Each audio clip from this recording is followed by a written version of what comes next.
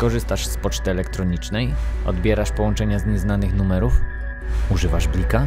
W każdym miesiącu otrzymujemy kolejne zgłoszenie o wyłudzeniach pieniędzy za pośrednictwem tych trzech kanałów.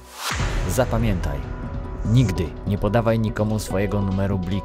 Oszust może podszywać się pod twojego znajomego lub rodzinę. Jeżeli dzwoni do ciebie ktoś, kto podaje się za pracownika banku, nigdy nie przekazuj przez telefon żadnych swoich haseł ani danych osobowych. Jeżeli na twoją skrzynkę przyszedł e-mail, w którym bank prosi cię o kliknięcie w link, nie rób tego. Nigdy nie klikaj w link umieszczony w wiadomości e-mail. Te trzy proste zasady zwiększą bezpieczeństwo Twoich pieniędzy. Zapamiętaj. Nigdy nie podawaj nikomu własnego numeru blik. Nigdy nikomu nie przekazuj przez telefon swoich haseł ani danych osobowych. Nigdy nie klikaj w link umieszczony w wiadomości e-mail.